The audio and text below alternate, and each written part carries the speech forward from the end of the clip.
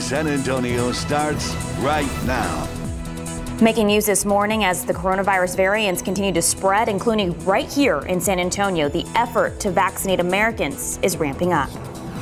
And outside with live cam, do we need a jacket? Do we need an umbrella? Do we need to stay home or do we need to stay at work?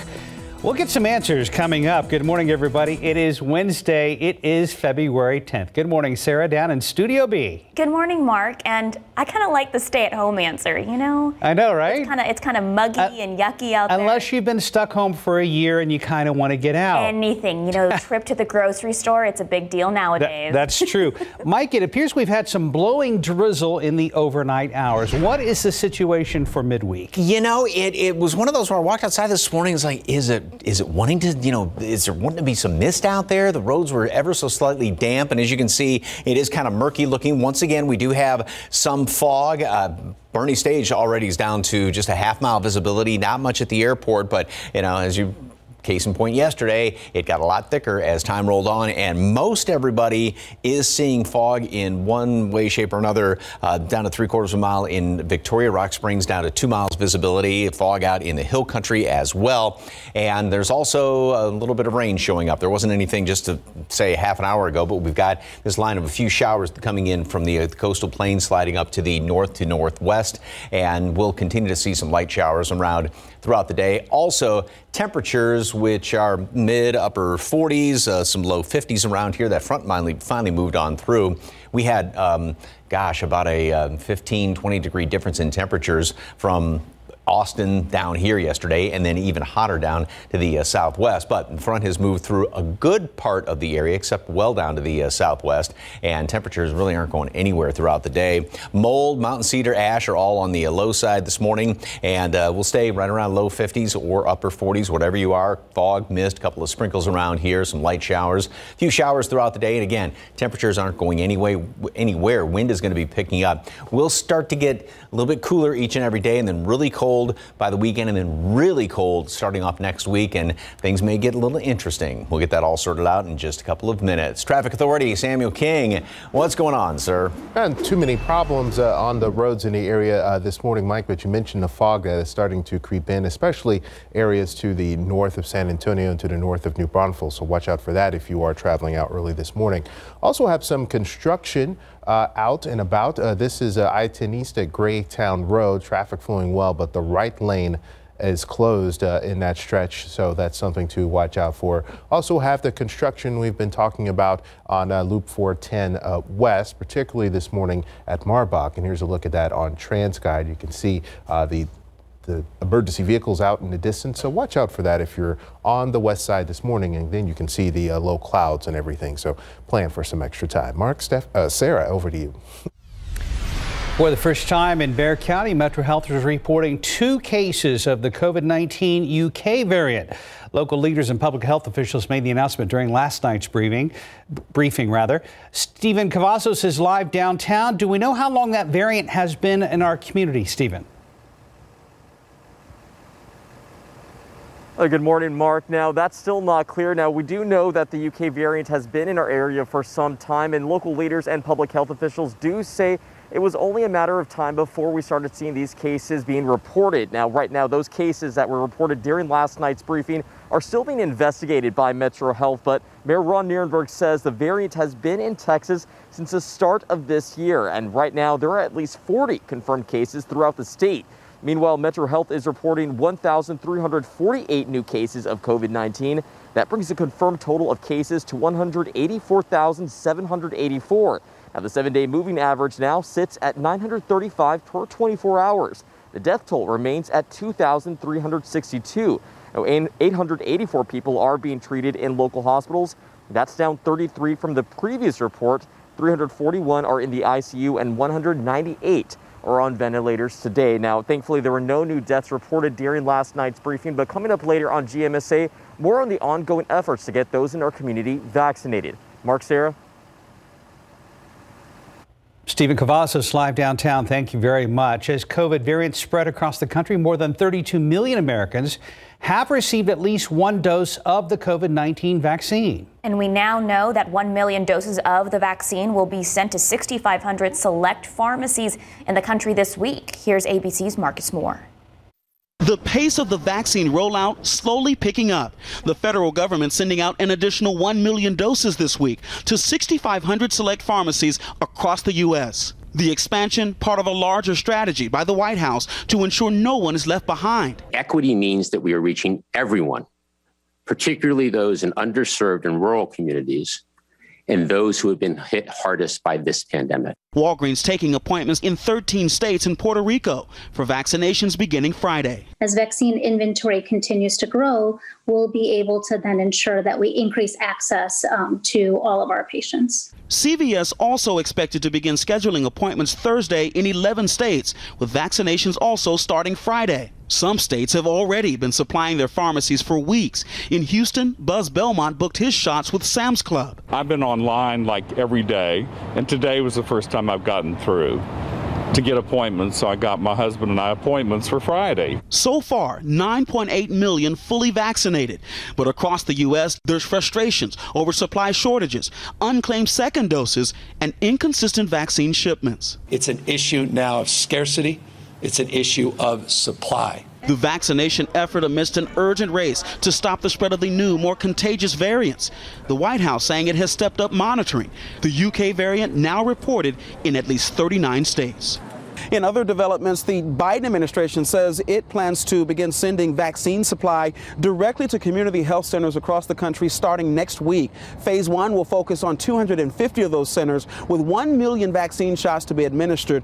And separately, FEMA says it plans to send mobile units directly to communities hardest hit. Marcus Moore, ABC News, Dallas. Back here at home, 436, 51 degrees. Still ahead, a first look at the federal investigation that found that looked into that helicopter crash that killed Kobe Bryant.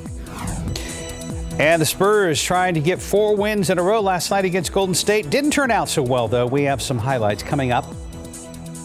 Let's take a look outside with live cam. 51 degrees this morning. Mike says some areas are experiencing just a little bit of fog. He'll have more on that and that anticipated cold front coming in later this week.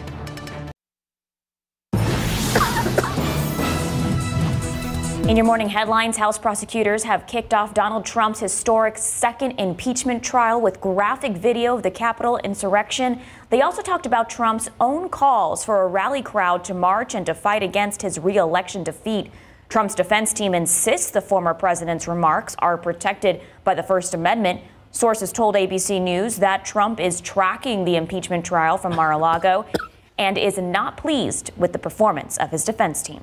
Leaders of the U.S. Navy condemning extremism in the ranks. The message comes after symbols of hate and violence were recently found aboard ships. Last month, a black sailor on the USS Lake Champlain found a noose above his bunk. The second incident happened in the past week and involved hate speech graffiti discovered in a bathroom aboard the USS Carl Vinson. Meanwhile, the new U.S. Secretary of Defense has ordered a military wide stand down for April 6th. On that day, commanders will take a break from regular duties to address the issue of extremism with their troops. The latest coronavirus relief package under consideration in the House would make health care more affordable for some Americans. The bill increased Affordable Care Act subsidies for two years. During that same period, cost for middle class Americans who earn too much to receive financial assistance now. Under the plan, enrollees wouldn't pay more than 8.5% of their income for health insurance. Those changes would be part of President Biden's relief package, temporarily fulfilling a campaign promise.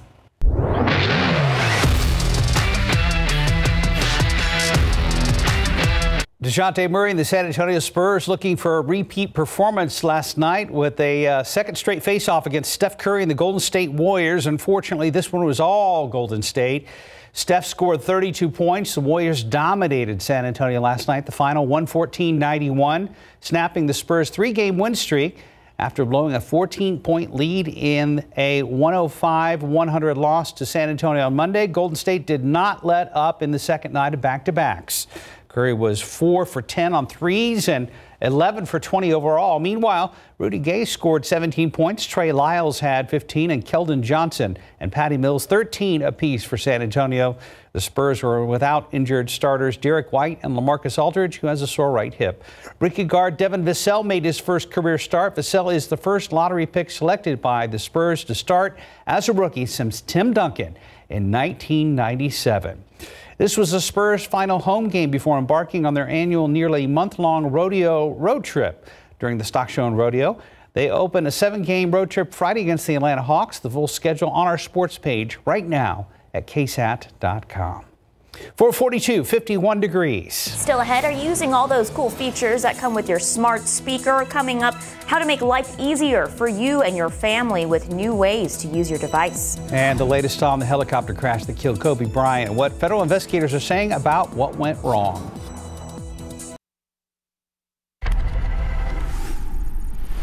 In this morning's GMA First Look, new insight into what caused the helicopter crash that killed Kobe Bryant, his daughter Gianna, and seven others. The National Transportation Safety Board determines that the probable cause of this accident was the pilot's decision to continue flight under visual flight rules into instrument meteorological conditions which resulted in the pilot's spatial disorientation and loss of control. The NTSB places blame squarely on the pilot, Ara Zobayan, for the helicopter crash, saying in its report that the pilot made a series of decisions that went against his training and federal aviation rules when he flew into bad weather. We use the term crash rather than accident, and I think it's important to understand the distinction.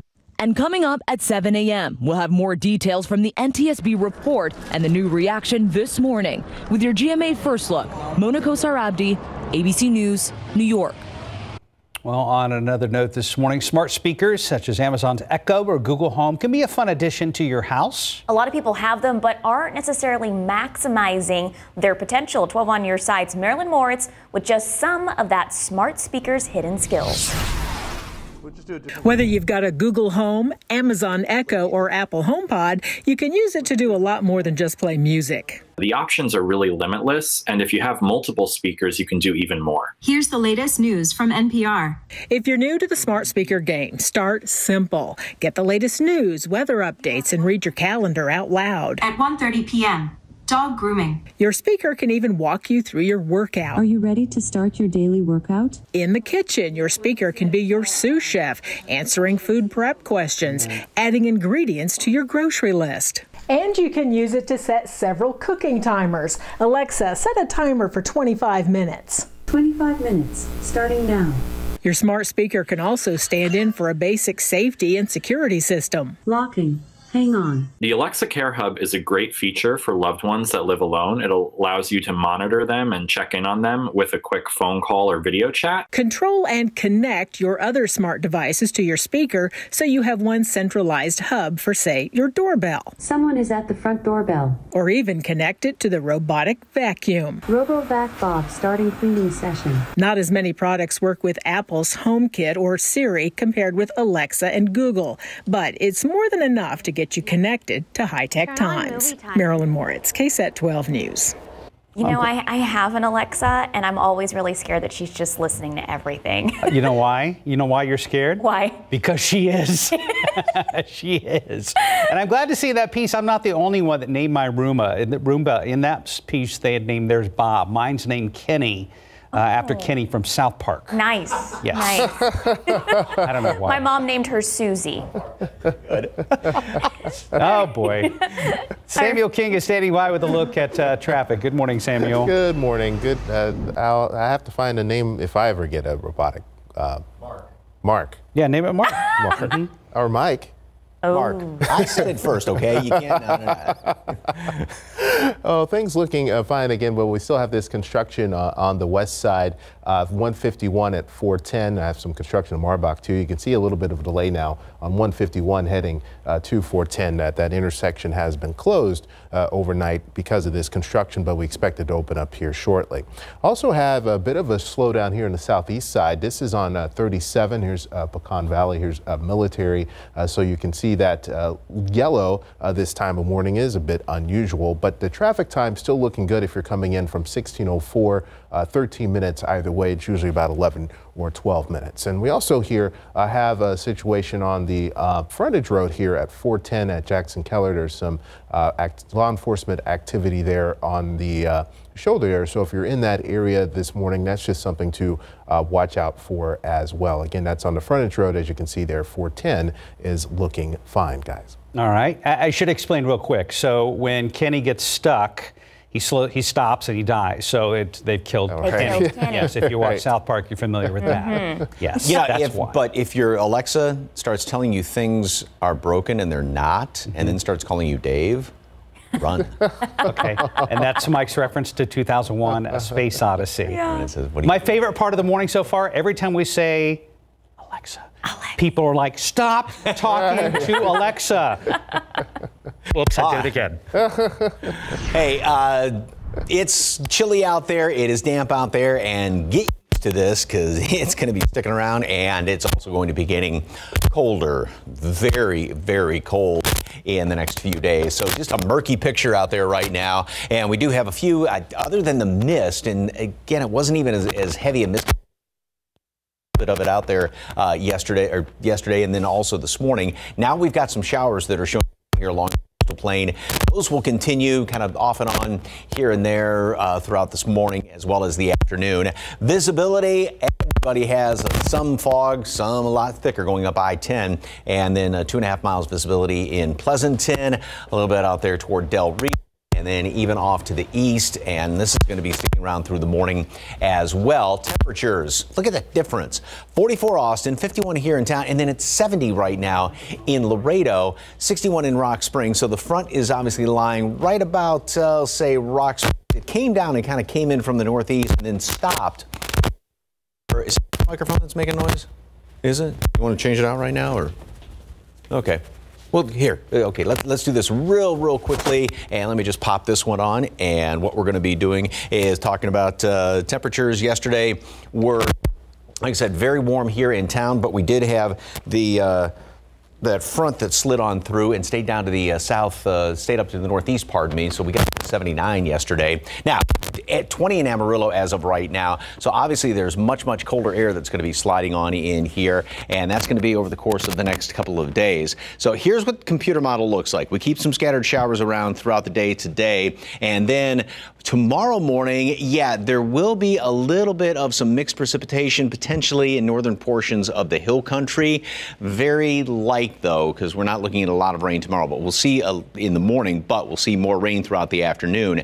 Then going on into, hang on one second, producer, going on into late in the weekend. Sunday is going to be cold and blustery. Rain will start to move in here, and then overnight into Monday, we are going to be seeing some uh, mixed precipitation. Some uh, looks like a little bit of light snow, as well as some sleet, perhaps even a bit of uh, freezing rain. That's going to be early on Monday. 52 today at noon. Just get used to seeing the number 52 right now because that's what it's going to be all day long. A few showers, and then it's going to get breezier tonight. Tomorrow we will have rain, maybe a little bit of mix in the uh, hill country starting off, and then Friday some sunshine, a little bit, but only 45. Notice how temperatures continue to go down. Blustery cold Sunday, and then mixed precipitation Monday. Other than a little bit of mix uh, up in the hill country early tomorrow morning. All right, thank you very much, Mike. 453, 51 degrees. Up next, Diana Ross pays tribute to the former Supreme singing partner, Mary Wilson. This morning, Supreme singer Mary Wilson is being remembered. Plus, it's the 50th anniversary of a landmark album. For the latest on what's happening in Hollywood, here's ABC's Jason Nathanson. Ross paying tribute to her former Supreme singing partner, Mary Wilson, though the two weren't exactly friends towards the end. Ross posting a throwback picture on Twitter and writing that she has so many wonderful memories of their time together, adding that the Supremes will live on in our hearts. Mary Wilson died unexpectedly Monday night. She was 76. It's going to get very hard. You're going to see things from Nicole never seen before. Grab a box of tissues if you're going to watch the movie Our Friend, which stars Jason Segel, Casey Affleck, and Dakota Johnson, about three friends dealing with a terminal cancer diagnosis. And Segel tells me he feels the movie hits harder now, given everything everyone is dealing with. Even when we say, I'm doing good, isolation's hard. You know, this, I think this has been harder on us than we will realize for a long time. And, uh, I'm glad there are I'm glad that there are some release valves and steam vents in art so that we can have a cry. Our Friend is out now in theaters and on demand.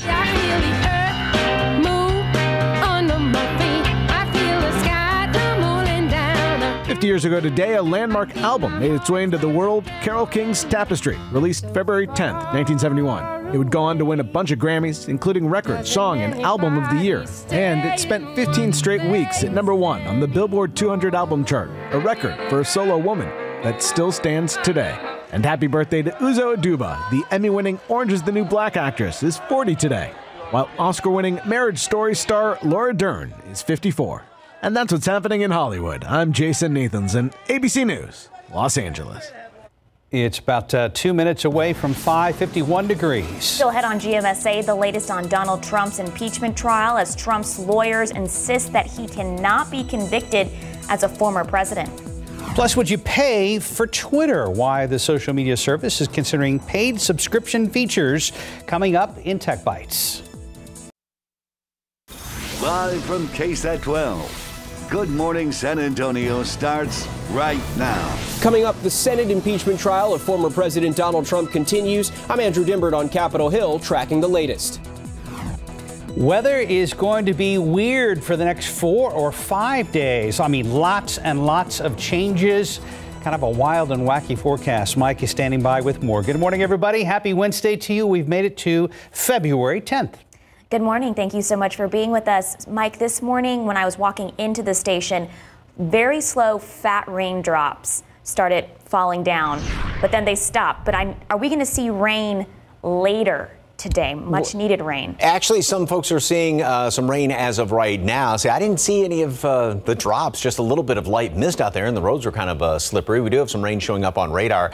And, excuse me, yes, tomorrow we are going to be seeing uh, hopefully some some beneficial rain around here. So as far as right now, we've got uh, a little bit of rain showing up on radar. This is what it looks like, and you can see moving in here from the the coastal plain. We've got those uh, light showers, not anything too awfully heavy as of right now, and also there is a lot of fog. As you can see, visibilities. Um, everybody's got some sort of fog. We've actually dropped down a little bit here at the airport, half mile Boerne Stage, and then three miles at Pleasanton, even far and wide, all the points of the compass. Everybody is seeing some sort of fog, and this will be sticking around for the next couple of hours, plus some of that mist or even a couple of light sprinkles around here. And uh, temperatures. Boy, really depends on where you live. Mid 40s up in the hill country, Austin, low 50s here.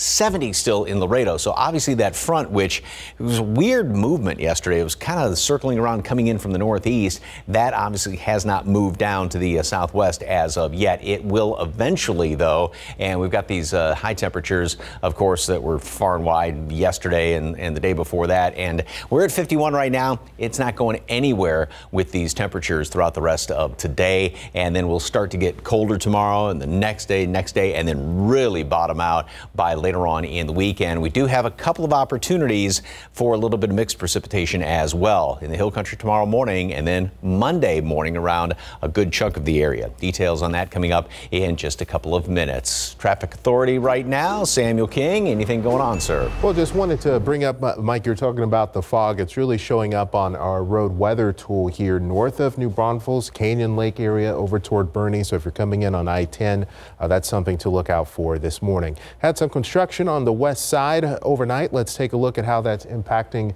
uh, things at the moment as they're expected to be picking that up. 10 minutes on 151 between 6 and 04 and 98 minutes uh, going the other direction. So that looks fairly good at the moment. Looking at some travel times, we mentioned Boerne, some fog in that area. 24 minutes still on I-10 coming into downtown San Antonio. So that's pretty good. 26 minutes coming in uh, from New Braunfels on 35 into San Antonio, and then 29 minutes on 37 coming in from Pleasanton. And here is uh, TransGuide still have the situation on the frontage roads there at uh, 410 at Jackson Keller. So that's something to look out for. 410, as you can see, looks fine. Marks, Sarah, over to you. Thank you, Samuel. History made in Washington, D.C. This week marks the first time a president has faced an impeachment trial after leaving office. Donald Trump facing one count of incitement of insurrection after the January 6th siege on the Capitol. The trial kicking off with arguments from both sides over whether it's even constitutional to try a former president. ABC's Andrew Dymburt is on Capitol Hill with the latest. The Senate chamber under siege a month ago. Now a courtroom. Senators reliving the Capitol attack on the first day of former President Donald Trump's second impeachment trial. House impeachment managers using searing images from the January 6th attack to lay claim that Trump incited the deadly insurrection, using his own words to plead their case. And if you don't fight like hell, you're not going to have a country anymore. Lead Democratic prosecutor Jamie Raskin recounting how his family was with him that day at the Capitol, his emotions weighing heavy as he recalled what his daughter said to him. She said, Dad, I don't want to come back to the Capitol. Day one for this unprecedented trial was meant to focus on the constitutionality of the trial itself, with Democrats arguing Trump can still be impeached even though he's no longer in the Oval Office. But Trump's lead defense attorney, Bruce Castor, spent most of his time on the floor sauntering through arguments that weren't clearly related to those constitutional questions. Senators are patriots first. They love their country. They love their families. Even Republican Senators Susan Collins and Lisa Murkowski say they were confused. I was perplexed by the first attorney who did not seem to make any arguments at all. And sources tell ABC News Trump was not pleased with the performance of his defense team. Trump's other attorney, David Schoen, getting things back on track, trying to assert since Trump was removed from office by the will of the American voters, Democrats have no case. For a great many Americans see this process for exactly what it is a chance by a group of partisan politicians seeking to eliminate Donald Trump from the American political scene. But after the four hours of arguments, senators voting to move ahead with the trial, with six Republicans siding with Democrats that the trial is constitutional, even though Trump is no longer president. Andrew Dymburt, ABC News, Capitol Hill. To other news now, some major supermarket chains joining the ongoing efforts to get people vaccinated. More than 1,000 Walmart and Sam's Club pharmacies will get allotments of the COVID 19 vaccine. Our Stephen Cavazos is live downtown. Stephen, good morning. Do we know how many of these pharmacies will be uh, participating in our area? Well, good morning, Mark. As of right now, there is only one Walmart pharmacy that will be soon distributing the COVID 19 vaccine. But this is all part of the U.S. federal retail pharmacy program. Now, that Walmart is located off De Zavala Road, and they will begin administering the vaccine as early as this Friday. Now, they will be administering this to eligible residents who fall into tiers 1A and 1B. Now, as vaccine efforts are ramping up, the WellMed hotline will also open again later this morning. Now, you can call that number that's listed on your screen. That's 1 833 968 1745. That hotline will be open from 8 a.m. to 8 p.m. WellMed officials say the line is already overwhelmed with calls, but they encourage people to keep trying. Now, 6,000 slots will be filled between two clinic locations, both on the city's east side and west side. And we also want to remind you that Boerne is also hosting a vaccination hub this Friday. Registration opens later this morning. 500 doses of the Moderna vaccine will be distributed on Friday at St. Peter the Apostle Catholic Church. Now, the link to make that reservation will open later this morning beginning at 9. There is also an option for a Spanish translation. Now, we have all this information posted on our website. It's at ksat.com. Reporting live this morning, Stephen Cavazos, KSAT 12 News. Also on our website, details on the CVS stores distributing the vaccine in San Antonio. Starting tomorrow, appointments can be made online and by phone. Well, District 2 is desperate to take back the east side. This after a six year old child was shot while at a church event this past Sunday. The east side community is frustrated after several children have been the innocent bystanders during the gun violence that is plaguing their streets. Residents say they want to see more activities in the community for young people. They say having more policing and surveillance will also help make their community safer. Even though we're asking for um, more transparency and more accountability of our of our police officers, now is that time that we have the conversation of what can we do to truly work together. District 2 Councilwoman Jada Andrews-Sullivan, who is running for re-election, says she is working on a strategic plan with San Antonio police to crack down on the crime in her district. Now, Farrell Clark, who is also running for the District 2 council seat, released a statement saying in part, quote, we must make investments in our youth programs, better paying jobs and education, drug rehabilitation, and addressing mental illness. Studies show when you invest in the community, the crime rate goes down, end quote. His full statement on our website, ksat.com. Time check just about 510, 51 degrees. Still ahead, a look at why Twitter is now considering subscription fees and other paid features. Plus, the battle between short form social platforms continues. How TikTok is making things a little more difficult for Instagram. Look outside with live cam. There's a little bit of that fog that Mike has been talking about. Also, will we expect rain later today? Mike will let us know when we come back. 513 by now, you've probably heard of TikTok. If you haven't, it's essentially a social media platform with very short videos ranging of everything from dances to politics. And as Max Massey explains, they are a real competition for Instagram. Instagram launched Reels, a short form video product in the United States on August 5th, just days after former President Donald Trump announced plans to try and ban the Chinese owned TikTok in the country, sending panicked users scrambling to find alternatives. And six months later, Reels on Instagram, not really taken off in the way the company had hoped. TikTok has actually outlasted the Trump administration and continues to be popular. Roughly 100 million users across the United States, a significant impact on American pop culture, and a loyal mix of influencers who don't seem to be going anywhere. Unlike with stories at this point in its history, Instagram has not released any metrics about Reels so far. Facebook has come under some scrutiny from regulators and critics for its aggressive approach to acquiring or cloning rivals to maintain its dominance in the social media market. But Instagram's early struggles to take on TikTok is a reminder that a number of Facebook's copycat products have flopped or simply come up short. Building a clone is easy, creating a vibrant community is not, even for a social media giant like Facebook. With Reels, Instagram hopes to try to replicate much of what makes TikTok popular. That includes the editing effects and an ability to add music or a background sound. But what's harder to replicate is TikTok's powerful For You page and the For You page algorithm, which serves up videos tailored to each user's interests. Here's the ironic part. Instagram Reels largely remains a home to TikTok's greatest hits, with a lot of people reposting their popular TikTok videos with the platform's trademark watermark to Reels. It's common to scroll through Reels videos and see one TikTok video after another. Guys, back to you. Like somebody's building a kitchen in the background Uh, there. you know, on the weekends, we, we're, we're doing a lot of things. You know, you're allowed to tell people to shush, right? I know. I know. Okay, okay, all right. I can come in and do it for you if you want. 515 right now, 51 degrees. Well, still ahead, why PGA of America is looking to allow distance measuring devices at its three major golf events for the first time.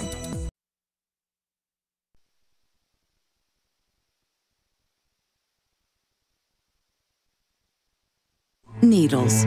Essential for pine trees, but maybe not for people with certain inflammatory conditions because there are options like an injection, Xeljanz. The first and only pill of its kind that treats moderate to severe rheumatoid arthritis, psoriatic arthritis, or moderate to severe ulcerative colitis when other medicines have not helped enough. Xeljanz can lower your ability to fight infections. Before and during treatment, your doctor should check for infections like TB and do blood tests. Tell your doctor if you've had hepatitis B or C, have flu like symptoms, or are prone to infections. Serious, sometimes fatal infections, cancers, including lymphoma, and blood clots have happened. Taking a higher than recommended dose of Xeljanz for RA may increase risk of death. Tears in the stomach or intestines and serious allergic reactions have happened. Needles, fine for some things. But for you, there's a pill that may provide symptom relief. Ask your doctor about the pill first prescribed for RA more than seven years ago. Xeljanz, an injection. In today's Tech Bites, Twitter considering fees to use its platform. The company confirms it is exploring subscriptions and other revenue generating features. Its primary moneymaker is still ads. And according to Bloomberg, one idea Twitter is considering is allowing people to tip the users they follow. Spotify says it is testing the streaming of live lyrics in the U.S. The music streaming service started offering the new lyrics feature to some American users yesterday. No word yet on when the test will expand. The company once offered the feature in the U.S. but stopped in 2016. And distance measuring devices are being allowed for the first time at three major golf tournaments. The devices allow a player to focus on an object and determine its exact yardage from the ball. They'll be used at one event each on the PGA Women's and Senior Tours. Those are your Tech Bites. Have a great day. Just about 520. We're going to check in with Samuel King with our traffic authority. Uh, good morning, uh, guys. Uh, before we get into uh, the traffic for today, Mike's, of course, been talking about the cold weather we're expecting this weekend. So uh, AAA Texas has some reminders. First, get your car batteries checked and your car battery systems checked because uh, the weather expecting can be pretty hard on your batteries. And to preserve the battery life, uh, turn off your lights, heater, and the wipers when you turn off your engine. I know a lot of people like to keep it on, makes it easier when you come on, uh, but that also can affect the battery life as well as uh, your chargers, your phone chargers. Unplug those as well. And another cold weather tip, just keep a blanket in the truck this weekend in case uh, something happens to you and it's cold. Uh, you want to keep yourself and your family warm. So those are some reminders. Weather story this morning is some fog in the area, particularly here around Boerne on I-10 uh, coming into town. So let's take a look at how that's impacting travel times at this hour. Uh, looking pretty good there, 24 minutes or 25 minutes in each direction. And once you're inside 1604, looks like 13 or uh, 11 minutes uh, heading uh, the reverse direction. So that's looking good so far. And here's once you get downtown, here's what you'll see at the Y. Can barely see the skyline there this morning because of the low clouds, guys. Mike, how much stuff do we need today? Jacket, umbrella, both? Yeah, yeah, uh, jacket yeah. umbrella because temperatures now down to the southwest, uh, you're still going to be probably not needing a jacket because it's very warm and going to be staying very warm. But yeah, we're at uh, in the low 50s, going to be staying there all day long. And it's that damp chill with all this humidity out there. And we do have a couple of showers that are showing up on radar right now. There's just kind of a little bit of mist hanging out there. The roads were dampish this morning, but here's some of this uh, light rain. And as you can see, it's very scattered, but that will continue to work its way up to the northwest. So we will continue to have a couple of showers, but more rain is going to be coming and a little more widespread, a little bit heavier tomorrow. Visibility Everybody is seeing fog in one form or another. Six miles visibility out there at the airport. Rock Springs is down to just a quarter mile, three quarters in Victoria.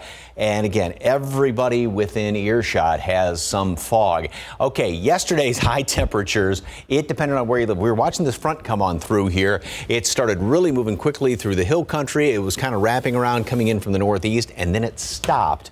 Obviously, we cleared out somewhat, got up to 79 degrees. Look at that 86 in Laredo, 87 in Cotulla, but then stayed at 64. That was the warmest, and that was earlier on in the day in Austin. And then today, again, depends on where you live. Looking at 46 in Austin, 81 in Laredo, and we are going to be staying right in the uh, the low 50s today, and that's pretty much going to be about it. So we continue to have a couple of light showers around the area, and these temperatures are all going to be above freezing. Tomorrow, rain becomes a little bit bit more widespread. And in the morning, there may actually be a little bit of some mixed precipitation in northern portions of the hill country. Perhaps uh, Gillespie, little bits of maybe northern Kendall County, uh, Blanco County, just uh, not much rain in the morning, but some of it could be freezing, a little bit of a sleet, or some of it uh, freezing on contact. And then throughout the day, it's mostly just going to be rain. And like I said, we could see some heavy rain, perhaps even a thunderstorm thrown in tomorrow. Then we jump ahead into Sunday. Now, Saturday morning, a very small chance of a sprinkle or two and something, but uh, not very likely. Now, Sunday, it's going to be cloudy, it's going to be blustery and very cold temperatures, only in the 30s. And then we'll start to see some rain move in here. And yes, that will be changing over into a little bit of uh, sleet and or snow. And that's going to be late Sunday night and uh, throughout the first portion of the day on Monday. And thank goodness it's a holiday on Monday. A lot of folks do have the, the day off. 52 degrees today at noon, and that's what it's going to be later on. Temperatures really are not going to move at all throughout the day. A couple of showers around here, and then the wind is going to be picking up later on tonight. So it's going to be kind of blustery. It's going to be windy tomorrow, and we will have rain. Temperatures, again, basically stay steady throughout the day, but only in the mid 40s. And then Friday, perhaps a bit of sunshine. A morning shower is going to be possible on Saturday. Not very likely, though. If anything does fall, it would be mixed up to the north. And then Sunday, blustery and cold. Monday, we will have some light snow and or a little bit of uh, sleet mixed in or something uh, freezing on contact around the area. And temperature is going to be hard pressed to get out of or get above freezing. We're looking at an extended period, more than 24 hours potentially, to stay below freezing Sunday night in through Monday. Ooh, weird, weird stuff. Yes, and on Sunday, we are one month away from the next time change. Can you believe it? Wow, it's just really, by. really. Oh. Hmm. oh. We don't like this time change. No, he's disappointed. 524, 51 degrees. Up next in your morning spotlight, a first look at the actress who is playing Aretha Franklin, plus more details on an app that lets musicians jam live while miles apart.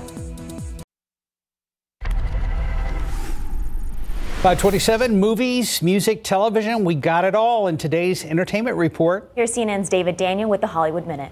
Well, you only got three chords? Ah, I will make them sound like a million bucks. Here's your first look at Cynthia Erivo as Aretha Franklin in Genius Aretha.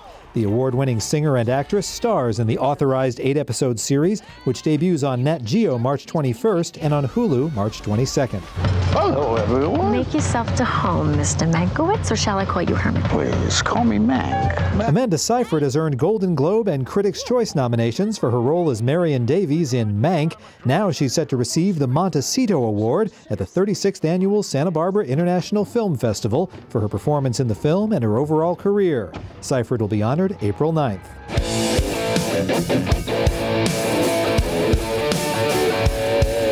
These musicians aren't in the same room or the same country. They're nearly 2,000 miles apart and still playing together live using a new service called Aloha by Elk. The device allows musicians and singers to rehearse, perform, and record from different locations with no noticeable audio delay. Info at alohabyelk.com. In Hollywood, I'm David Daniel. If I was a musician, Sarah, my I would be off by four or five beats because my Wi-Fi stinks at home. I know. it's like all those Zoom calls. Yeah, I don't know how they do it, but uh, it looks good. 529 right now, 51 degrees. We'll still head on GMSA as the number of COVID 19 cases starts to go down. The latest on the efforts to get more children back into the classroom. And Hyundai developing a car that can walk. We'll tell you why and how it works coming up.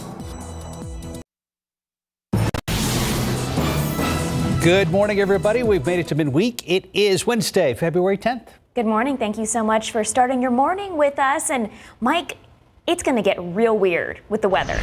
Uh, yeah, really cold, and that's the, the biggest story around here. We will have some wintry uh, precipitation mixed in, especially later on in the forecast, even perhaps early, early tomorrow morning, uh, just isolated up in the hill country. But yeah, forget about any warm, temps, except well down to the south. Still going to be very warm uh, as it is right now, down to the uh, south and to the uh, southwest in our viewing area, down around uh, Del Rio, Laredo. 52 here in town, dew point at 50. So we got a lot of humidity out there, and that's the reason for this murky picture with uh, visibilities. Well, it depends on where you are, but the airport has dropped down to just a mile and a half. We were hovering about five, six miles there for a while. Same thing in New Braunfels. Uh, Boerne Stage is just at a half mile, and visibility will continue to be on the low side throughout the rest of the morning. We will continue to keep some fog around here throughout the rest of the morning. Rock Springs at just a quarter mile, and everybody has fog in some form this morning. Also, there's a lot of mist with the fog, but then we do have some detectable rain down here to the southeast. That will continue to work its way up to the uh, north, and we'll continue to see showers. Um, kind of off and on, about a 20, maybe 30% chance of rain throughout the day today. All the allergens are on the low side. I would suspect, though, with some of this moisture, mold may be going up. Of course, the updated count is going to be coming up uh, about um, quarter after 7:30 this morning. So cold and damp today, and then tomorrow cold and wet, even a little bit colder, but better rain chances around the area. Uh, hopefully, we get some, some much needed rain. That would be wonderful. Then, as we go into the weekend, it's going to get even colder. Now, there could be actually, like I said, tomorrow morning, some uh, mixed precipitation well up to the north. And then early on Saturday, maybe. But Monday is the day really going to have to watch out for some uh, light snow and maybe some uh, sleet mixed in and very, very cold temperatures. Details coming up in just a couple of minutes. Traffic Authority Samuel King. Map still looks pretty good. Yeah, map uh, looking uh, pretty good, Mike. As you can see, not no real uh, delays or anything. Let's take a closer look. Uh, just south of uh, downtown, we did have a delay here uh, from going I-10 to uh, 37, and just like that, it's cleared up now, uh, flowing uh, pretty well. You mentioned the fog, so we do have some issues, particularly to the north of San Antonio right now. But you can see that's fog creeping down to New Braunfels now. so if you're on 35, if you're on 46, if you're on 10 coming in from Boerne, watch out for that this morning.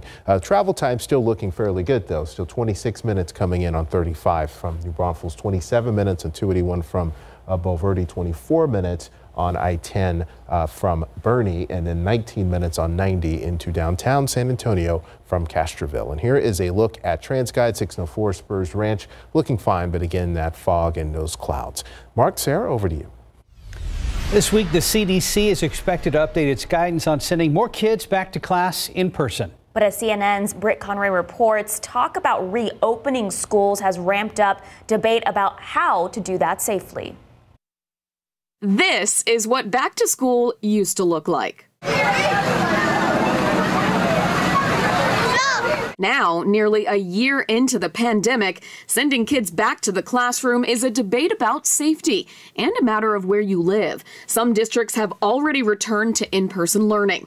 Many of the country's 13,000 school districts have come up with their own standards for when it's safe to send kids back into schools. But federal guidelines are expected to come out this week. We already know President Joe Biden's goal is to have more than 50% of schools back open by day 100 of his presidency. And that means uh, some teaching in classrooms. So at least one day a week. Hopefully it's more. And obviously it is as much as is safe in each school and local district. But as much as is safe is where the debate kicks in. Some medical experts say it can be done safely, pointing to a study of 17 rural schools. The data from schools suggests that there's very little transmission that is happening within the schools, especially when there's masking and distancing occurring. But for some schools, especially those in more populated areas with older buildings or larger classes, meeting safety guidelines can be a challenge. In several states right now, there are intense negotiations over restarting in person learning.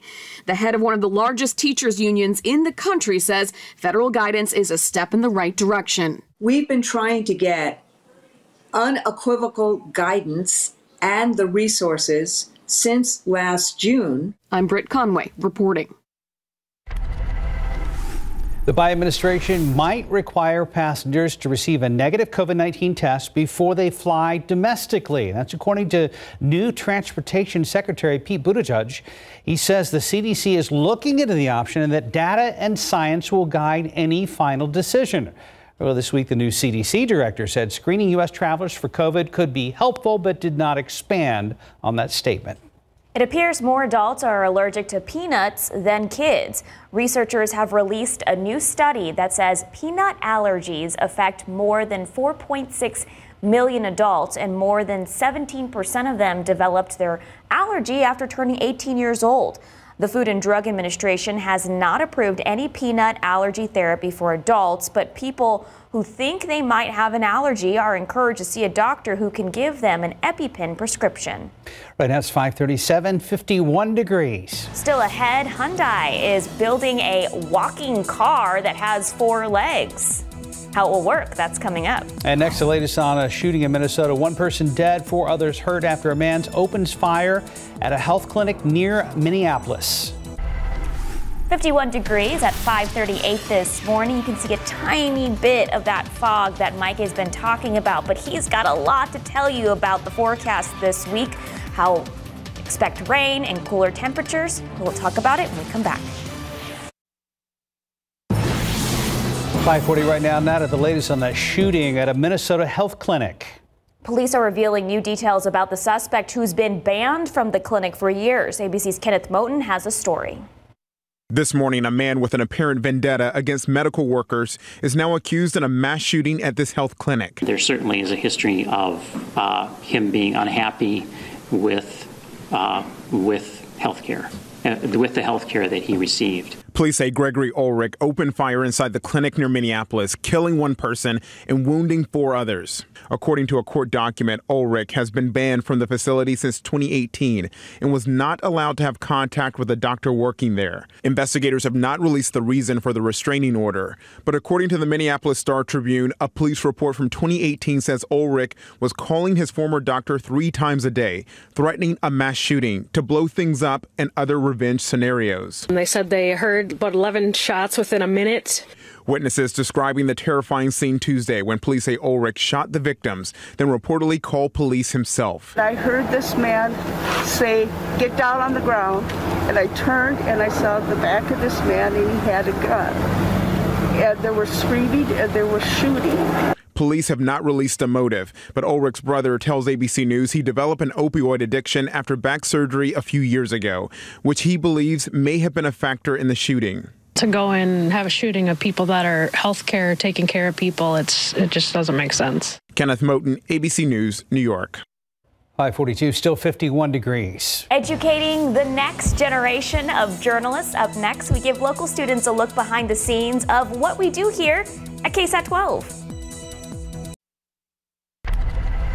Welcome back in your morning consumer headlines. Aunt Jemima is no more. The breakfast, breakfast food brand from PepsiCo has a new name and likeness. They'll now be under the Pearl Milling Company title and logo. That was the name of the 19th century ready made pancake mix brand that eventually became Aunt Jemima. A spokesman, spokesman with the PepsiCo says the new brand will make its debut this June. The Mars Food Company recently removed its Uncle Ben's name and logo from its rice, switching it to Ben's Original. Audi says it'll soon be ready to hit the road with its newest electric vehicle. The German automaker showing off the 2022 Audi e-tron GT and its 2022 RS e-tron GT. Both electric Gran Turismos are more powerful but more lightweight with carbon fiber reinforced plastic roofs. They feature larger wheels and a boosted efficiency. They say the new standard GT should be able to go 238 miles needing, before needing a full charge. The RS should go up to 232 miles per charge. The 2022 Audi e-tron GT is set to go on sale this summer. Well, Hyundai is building a walking car that has four legs, kind of terrifying. The Hyundai Tiger X1 is a concept car with four wheels, each powered by an electric motor. Each of those wheels is on the end of a long bendable leg. The autonomous vehicle can also drive in any direction, forwards, backwards, or side to side, using either its wheels or legs.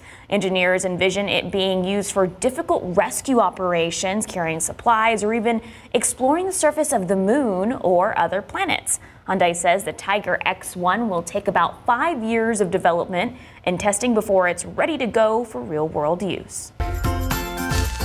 New this morning, a look behind the scenes of what we do here at KSAT 12. Before the pandemic, students often had a chance to tour our station to learn more about what we do here. I really miss those tours since that's not possible for the time being. We wanted to take some time to pull back the curtain and answer some frequently asked questions. Things like how and why we got into this business and what it takes to be part of this industry. First up, here's what some of our KSAT team had to say about why they got involved in TV news.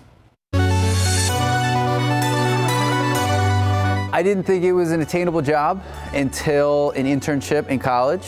I interned and I had to be there at 4 a.m. in the morning.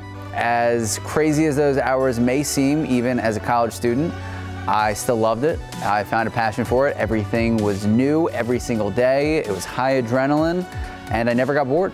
I think at a young age, every day I would watch the news with my parents. We watched the Today Show every morning, and then the evening news, the local news, and I realized my friends didn't. So I was always informing them about what was going on. And as I got older, I realized the power of knowledge and knowing what was happening in our community and it was really really important opportunity came up um, and so it was an example of in a way of trying uh, new skills and testing new skills and, and learning uh, new skills and, and so far it, it's worked out pretty well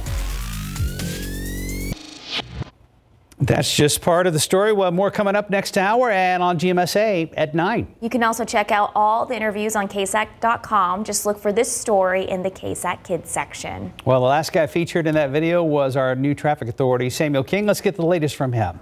Uh, good morning, guys. That was fun to uh, take part in and hope folks are able to check it out. But we do have this situation here. This is a 35 at 1604 and uh, hard to kind of see there but it gives you an indication what we talked about all this morning with the uh, visibility.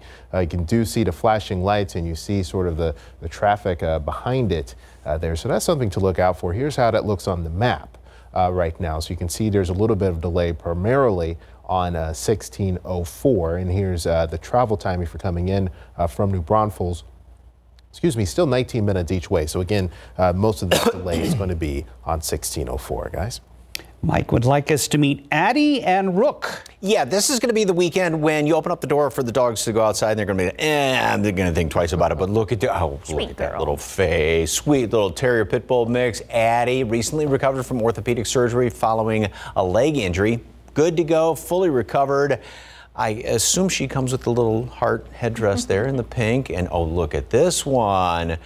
This is a sweet little girl, loves to cuddle all your attention. This is Rock. He is a two year old terrier. Rook. Pit, Rook, Yes, pardon sir. me. Yes. Named after the chess piece, I assume. A pit bull mix. He's the sweetest little boy and loving, calm personality. He enjoys walks, yummy treats, and scratches on his head, don't we mm-hmm. all? And San Antonio Humane Society will be there. Be My Furry Valentine No Contact Adoption Special taking place 10th through the 16th. All adult pit bull mixes, $25 Adoption fee, all bonded pairs. Adoption fees waived thanks to their Guardian Angel Fund. And for more information, please visit sahumane.org, 4804 Fredericksburg Road, 226 7461. And again, I know there's a lot of information there, but you can go to their website and find out all the uh, the details and what's going on there. So, all right, it is one of those days where you don't want to go outside. It is murky out there. It is damp. It's kind of that damp chill. You got all this humidity, and that really kind of, so I say, kind of seeps down the back of your neck. We do have a few light showers that are showing up on radar. Other than that, there is some mist out there. The roads were damp coming into work this morning. Visibility did drop down to a mile and a half last half hour out at the airport, mile and a quarter in New Braunfels. Thicker fog going up I-10, and yeah, everybody pretty much has fog in some some amount of thickness, I guess is the best way to put it. Fredericksburg, three quarters of a mile, LaGrange at three miles visibility, and we will continue to have some of these showers throughout the rest of today. Now, we go into tomorrow morning. Some of that could be mixed in with a little bit of uh, some frozen precipitation, maybe a little sleet or even a little freezing rain, and that would be in northern portions of the hill country, uh, perhaps around Kerrville, northern Blanco County. That would be early in the morning tomorrow. Then it's all just going to be in the form of rain throughout the rest of the day tomorrow, and could have uh, even a couple of thunderstorms, especially to the uh, kind of south and southeast later on tomorrow afternoon. Jump ahead now over the weekend. There may be a little bit of mix uh, early Saturday morning, very small chance for that, but the better chance of any uh, precipitation then or rain and or snow wintry mix is going to be on Sunday. Sunday is going to be just cold and blustery. Then we'll start to see some rain move in overnight. That's going to be changing over into some uh, snow as well as sleet, maybe some freezing rain, and that would be in the early morning hours of Monday. Excuse me, and then. That's going to be ending by later in the day on Monday. And if we clear out a little bit, it's really, really going to get cold on Tuesday morning. And as far as the humidity, boy, you know it's Arctic air when you get dew point temperatures that are going to be down into the teens and even single digits by the first part of next week. So we will definitely get a good chunk of that Arctic air mass coming on in here by later on Sunday. It's going to be cold the next couple of days, damp and cold, but really, really cold late in the weekend. 52 degrees today at noon. A couple of showers around here. Temperatures basically don't move. What you see is what you get today, and what you see right now is what you get throughout the day. 52, a couple of showers, and then the wind's going to pick up late this afternoon and tonight. It's going to be fairly breezy. Tomorrow morning may see some mixed precipitation up there to the north and to the northwest. Otherwise, rainy conditions. We'll have the showers throughout the day today. Mid 40s all day long, low 40s on Friday, a little bit of sunshine. Uh, may struggle to get out of the 30s Saturday, Sunday, cold and blustery, and then we'll have some of that uh, light snow, maybe sleet, freezing rain mixed in early on Monday morning. Well, the calendar fits, Mike. I mean, Mother Yeah. Nature tends to like to mess with us around Valentine's Day. Yep, uh, it's I remember many times in the past, like 15, 20 years. All right, thank you, Mike. Right now it's 553, 51 degrees. Let's take a look at the lotto numbers. There they are. Pick three. 398, Fireball 3, Daily 4, 9970, Fireball 9. Cash five numbers 3, 5, 12, 20, 21, and Mega Millions 7, 18, 21, 31, 40, Mega Ball 9, Megaplier 4. I have a break.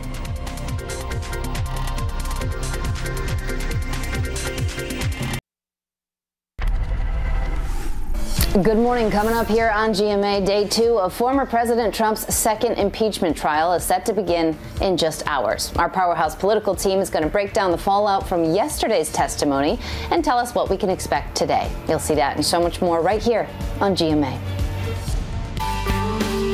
We'd like to remind you that our KSAT community partner, University Health, is hosting a big blood drive this month. It's happening February 18th and again on the 19th from 10 a.m. to 3 p.m. at the Witte Museum on Broadway. If you'd like to participate, you do need to make an appointment. You do so by calling 358 2812. We also have all this information on ksatcommunity.com. Glad you're with us on this Wednesday morning. Still to come, many of us have a food intolerance. Ahead on GMSA, we'll take a look at the signs you need to know about to see if you should stop eating certain types of foods. The weather is not great this morning. We've got some drizzle and it looks like some fog, flashing lights at 35 and 1604. We're going to get the latest on both traffic and weather coming up with Samuel King and meteorologist Mike Osterhage coming up after this break.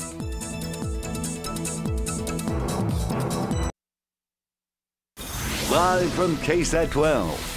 Good Morning San Antonio starts right now. Good morning. It's Wednesday, February 10th. We'll get to weather and traffic in just a moment. But first, the House impeachment managers will take the floor for the opening statements against former President Donald Trump this afternoon. It comes after six Republican senators joined Democratic senators to say the trial is constitutional yesterday. CNN's Karen Caifa is live with what's ahead at trial. Yesterday's arguments were about whether the trial should proceed at all, even though it was a foregone conclusion given the Democratic run Senate. Pre- former President Trump's attorneys said no, this is unconstitutional. You can't remove a president who's already left office. The House impeachment managers, however, really setting the table for what is to come today, something aides describe as a devastating, compelling set of facts against the president. The Senate will convene as a court of impeachment.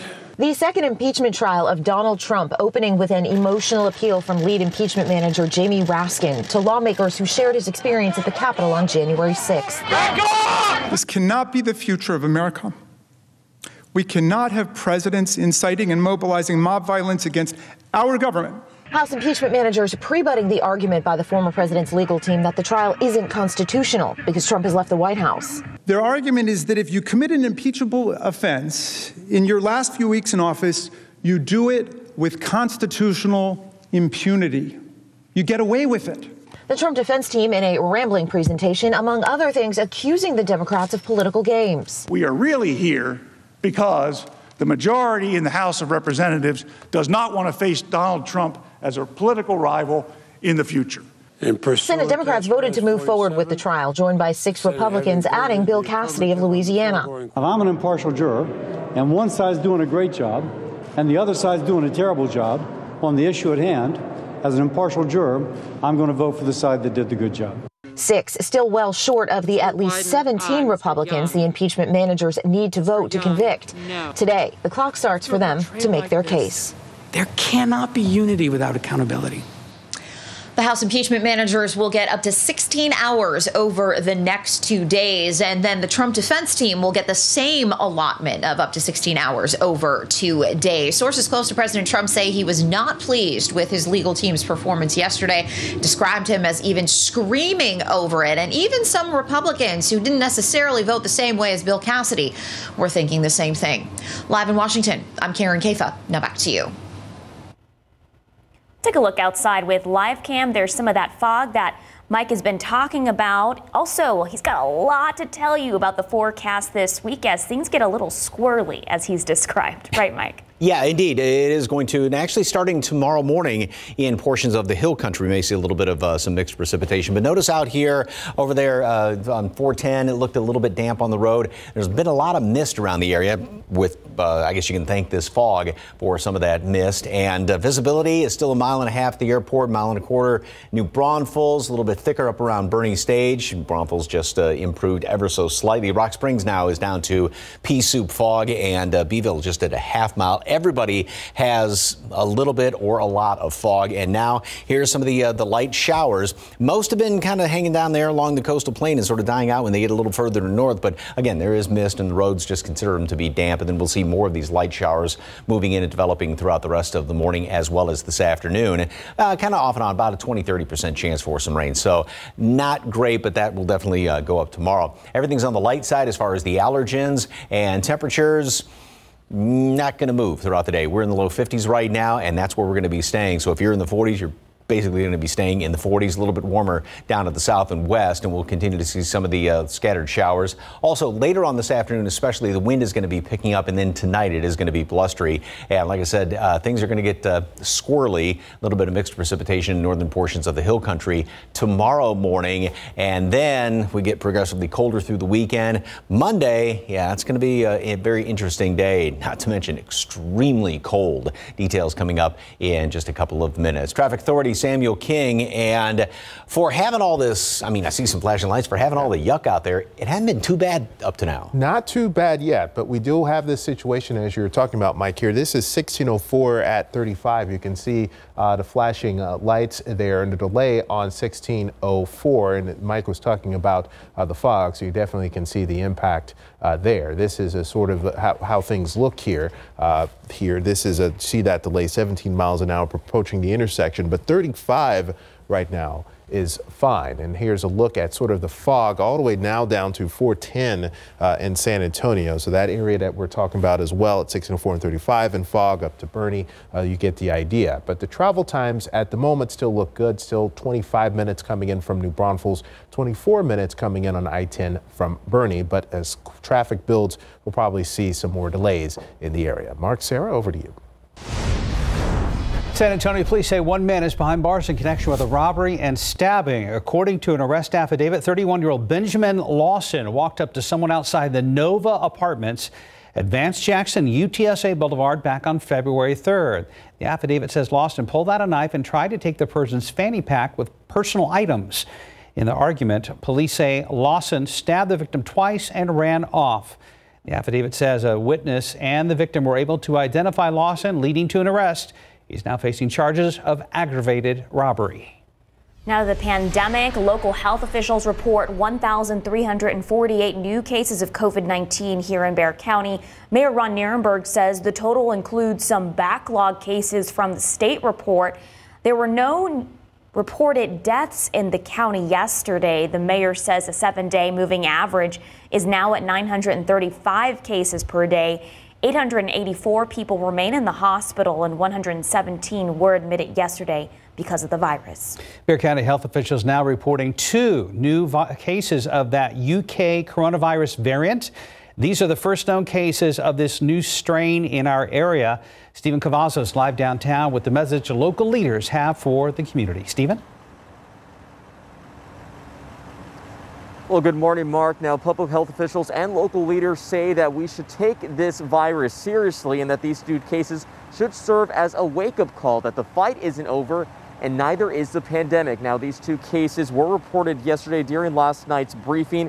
It's unclear how long the strain has been in our area, but Mayor Ron Nirenberg says the variant has been in Texas since the start of this year. This strain, as uh, doctors have reported, seems to be more contagious, uh, which causes it to spread uh, much quickly and more easily from person to person. But according to studies so far, it does not, seem, does not seem to cause more severe illness. And more importantly, studies have shown that the current vaccines available to the public are effective against it. Now, so far, there are at least 40 confirmed cases throughout the state. Right now, the two cases here in our area are still under investigation by Metro Health. Now, Metro Health does still advise people to follow health protocols. That, of course, includes social distancing, staying home if you're sick, and, of course, masking up. Mark, Sarah? Thank you, Stephen. WellMed is opening its COVID 19 vaccine hotline once again this morning. That number now on your screen 833 968 1745. The hotline will open at 8 o'clock this morning and it will go until 8 p.m. or until those slots are filled. This is for the vaccination clinics at the Elvira Cisneros Senior Community Center on the south side and the Alicia Trevino Lopez Senior Center on the northwest side. Clinics are currently accepting anyone in the 1A and 1B group. City of Boerne will host a COVID 19 vaccination hub on Friday. Registration for the slots opened this morning. Starting at 9 a.m., you can sign up for a spot on the City of Boerne's website. Registration must be done online. You cannot register at the vaccination site. 500 doses will be administered at St. Peter uh, Apostle Catholic Church in Boerne Friday. We have more information about all the vaccination efforts right now on ksat.com. Time check. It is now 609. 51 degrees. Well, there was no last minute excitement in the Spurs game last night. We'll hear how Coach Pop just wants to move past last night's loss. TikTok growing in popularity and it's forcing other companies to play catch up. We'll take a closer look at what Instagram is doing to try to level the playing field. Taking a look outside with live cam 51 degrees at 609. Bexar County and our surrounding viewing area experiencing some visibility issues that Mike and Samuel have been talking about this morning. They'll have more on that and what to expect with this cold front later in the week.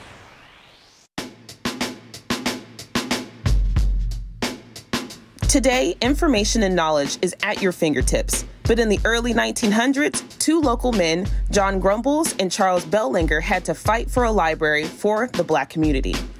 They successfully created the Carver Branch Library on Hackberry and brought in Prudence Lewis Curry as the first librarian at the branch. She was kind of like the start of it all. She was a school teacher in South Carolina, then Prairie View A&M. She married Pastor Curry of Mount Zion Baptist Church. Then, with a passion for education, she spent the next 28 years leading the library.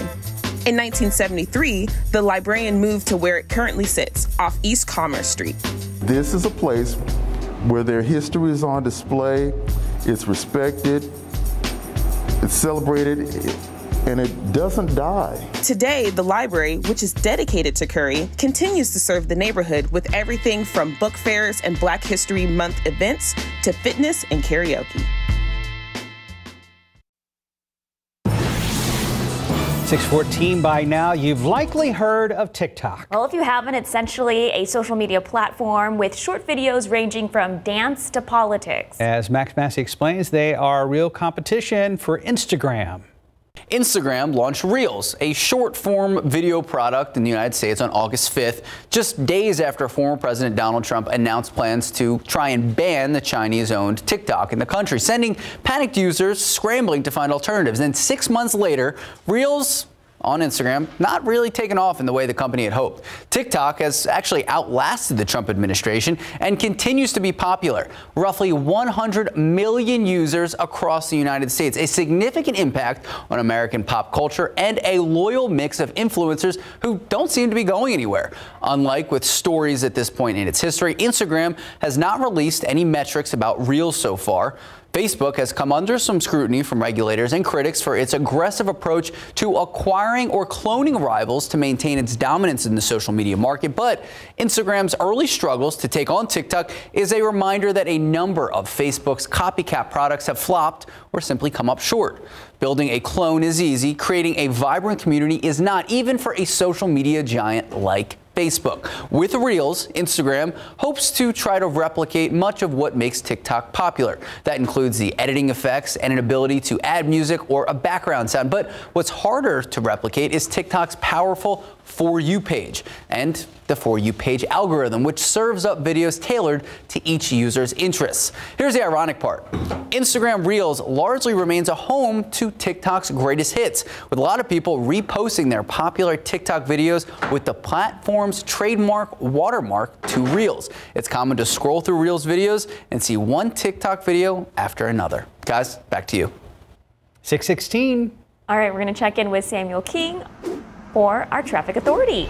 Good morning, Sarah and Mark. So I have the situation here, 1604 uh, at 35. You can see uh, sort of the headlights uh, coming uh, towards you there. So that's still going on. Here's a look at that at the map. Hi, Mike. How are you? Hello. and uh, I, uh, well, we, there we go. We have this delay there. 22 miles per hour coming up to 604. So this is heading uh, sort of uh, westbound, uh, if you will, but northbound there until you get to 35. Again, 35 uh, looks fine. And one more thing here as we uh, send it over to Mike in just a moment. The, the fog, again, coming all the way down to past 1604. This is 410 in town. so if you're heading out from the west to north or to northeast, you are going to run into some fog this morning. So plan for some extra time. Yes. He's like the fairy godmother. It's a Brady Bunch shot. Just beware. So. I'll look down. Samuel, you look up. Uh, everybody, oh, never mind. Hey, uh, make sure you just look sideways. I know. Uh, just make sure you uh, keep your eyes on the road this morning and for the next few mornings because it's just kind of it's yucky out there is the best way to put it. It's that damp chill. Uh, do grab a jacket and you will need it all day long. Fog, mist, a couple of sprinkles, and then temperatures really aren't going to be moving throughout the day. Also, the wind is going to be picking up later on, late this afternoon and tonight. We'll still have a couple of showers around here. This is what it looks like on live cam, and yeah, it is not necessarily a pretty picture. So we are looking at some extremely cold temperatures coming in here later on in the uh, late weekend. And Sarah Spivey did some great research yesterday. In the past 30 years, there have only been five times when we've been below freezing for 24 hours or more. Back in 2011, first couple of days of February, 97, right in the middle of uh, January, with 60 hours. And then going back, this was uh, New Year's Eve, remember that? Uh, 17 going into 18, first couple of days of uh, 2018, 38 hours. And that was a cold year because then only a couple of weeks after that, we were uh, below freezing for more than 24 hours, also back in 1996. So those are the times just in the past uh, 30 years where we've been below freezing for 24 hours, and we've got a shot at it Sunday into Monday. A couple of light showers are showing up on radar right now. Also, with all this fog around here, and visibilities are pretty low, we do have a lot of mist around. So we will continue to see some of these light showers throughout the day. Now, tomorrow, we do have a chance for some of this uh, freezing, maybe some freezing rain or a little bit of sleet in northern portions of the hill country early tomorrow morning and even going out I 10 in toward Kerrville. Then throughout the day, it's just going to be basically in the form of rain. Could see even a couple of thunderstorms thrown in tomorrow. Hopefully, some folks get some decent rain. Then going into Saturday morning, there is a very, very small chance, and I, I got to emphasize small chance for a couple of sprinkles or even a little bit of something frozen in parts of the hill country. But the better opportunity is going to be Sunday night late into Monday. And this is when we get the really cold air moving on in here. So we do have a good shot at some sleet and or snow mixed in, maybe a little bit of freezing rain in the first portion of the day on Monday. Thank goodness it is a holiday, so a lot of folks aren't going to be going into work. Here's the G Whiz for this morning 31 below in Cut Bank, and the wind chill there is 55 degrees below zero. It feels more than 100 degrees colder in Cut Bank than it does as of right now. Just to kind of put it in perspective, this cold air, though, will continue to work its way down to the south, so it'll be a little bit colder tomorrow and then on Friday into Saturday. And then by uh, Sunday, that's when the really, really cold stuff moves on in here. And that's going to be Sunday into Monday and then also Tuesday. And it actually looks like the coldest morning may be Tuesday morning.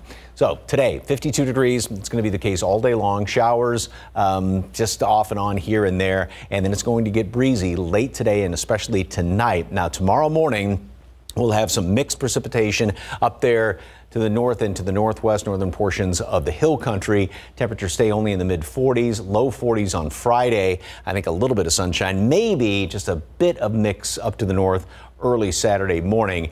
And then Sunday, it is going to be even colder, very blustery. And there's the opportunity that we are going to be from Sunday into Monday to stay below freezing for more than 24 hours. And we'll have some light snow, some mixed uh, precipitation, freezing rain, or some sleet. And then it's very cold Tuesday morning down to 20 degrees. So, yep, bundle up this weekend. Wow, there is a ton going on there in that extended forecast. Yeah.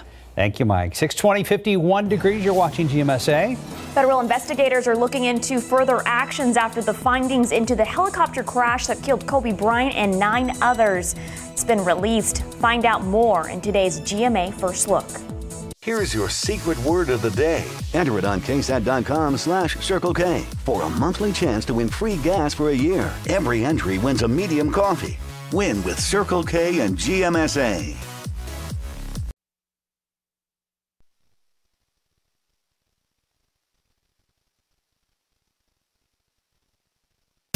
Actually, they visibly fades the dark spots away. New Neutrogena Rapid Tone Repair. 20% pure vitamin C. A serum so powerful, dark spots don't stand a chance. See what I mean? Neutrogena. This Valentine's Day, find the gift that makes your love shine even brighter. It's the Valentine's Day gifting event. Get 25% off everything. Sales. Ready to shine from the inside out? Try Nature's Bounty Hair, Skin, and Nails Gummies, the number one brand to support beautiful hair, glowing skin, and healthy nails. And try Advanced, now with two times more biotin. Hello, how can I? Sore throat pain? Try new Vicks VapoCool drops and Honey Lemon Chill for a fast-acting rush of relief like you've never tasted in. Honey Lemon. Woo! Vicks VapoCool drops now in Honey Lemon Chill.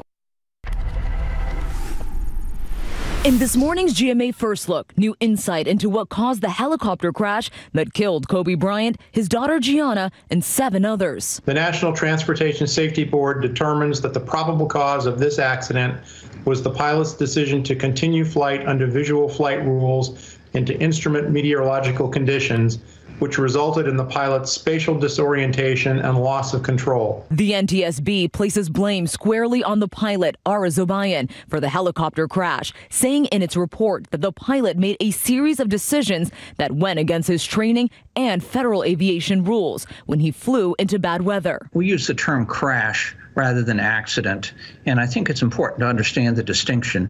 And coming up at 7 a.m., we'll have more details from the NTSB report and the new reaction this morning. With your GMA First Look, Mona Kosar Abdi, ABC News, New York.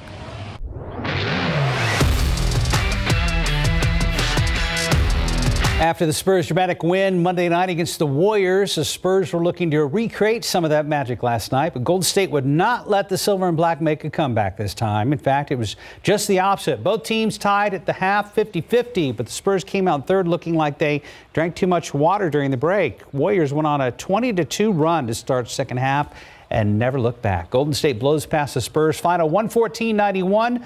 Pop says he's ready to put this game in the rearview mirror. Well, it's important every year. You know, it's an opportunity to uh, come together and uh, concentrate on basketball uh, without too many distractions. So it'll be a long, tough trip. Uh, we can we can make real positive and grow from it. Spurs now go on their rodeo road trip. They won't play a home game for more than two weeks. The Silver and Black will travel to Georgia first play the Atlanta Hawks on Friday night. Tip-off scheduled for 6:30 p.m. San Antonio time. 626 and 51 degrees. You may have food intolerance and not even know about it. We'll have some signs you should be looking out for. And in our next half hour, we take a look at what KSAT does behind the scenes. We'll shed some light on what it means to be a journalist and answer some viewer questions. And TransGuide as we go to break. It's a murky morning out there, somewhat slick in places, and fog might be a problem as well. We'll get an update on that. And when that really, really cold air is going to be here, could that get make things extra interesting around here? Mike has the answer coming up. Major supermarket pharmacies joining the fight to get people vaccinated. More on that story coming up on GMSA. Coming up, the Senate impeachment trial of former President Donald Trump continues. I'm Andrew Dymburt on Capitol Hill, tracking the latest. And outside with live cam, looks like we have some fog, perhaps some drizzle to deal with right now. You know, overall, this winter has been fairly mild, but what if we told you we're about to experience an entire season's worth of winter weather in the next week or so. We'll talk to Mike in a moment. Good morning, everybody. It is Wednesday, February 10th. Thank you so much for waking up with us this morning. Yeah, it's going to be a wild week this week, Mike. I mean, starting today with the fog and then just it kind of just goes it's like a roller coaster ride. Yeah and i think with some of the temperatures uh, down the road people are going to think it's uh, it's a winter's worth of uh, cold because it's going to be really really cold around here. This is the murky picture over there. This is uh, 10 410 we're looking down toward this is 10 going westbound. 410 is right about in there somewhere. So now granted this camera's on top of the building but there is a lot of uh, fog some low clouds 51 degrees 2.49 that temperature really is not i mean may fluctuate a degree or two throughout the day but basically temperatures aren't going to be going anywhere. What's interesting though is uh, Del Rio, Carrizo Springs are still in the low 60s right now, and even further down to the south around Laredo's uh, 70 at uh, earlier this morning. Yesterday, temperatures did get up into the mid and upper 80s, well down to the southwest. The front did not move through obviously. Now, we do have a lot of fog around. Uh, visibility in some way, shape, or form, you've got fog everywhere, especially Rock Springs. Zero visibility as of right now. One mile in Kerrville and just a half mile down the road in Beeville. This is going to be sticking around for the next couple of hours. A little bit of detectable rain, but there's mist and just that light kind of drizzle in places. And so the roads are definitely damp. Just assume that throughout the rest of today. All the allergens are on the light side. The updated count should be coming out in about an hour or so. Cold and damp today. We'll have showers off and on, about a 20 30% chance for some rain. Now, tomorrow, cold and wet, and there is a chance for a little bit of light mixed precipitation, maybe some uh, sleet or freezing rain in northern portions of the, uh, the hill country. Uh, northern Blanco County, northern uh, Gillespie County, around there.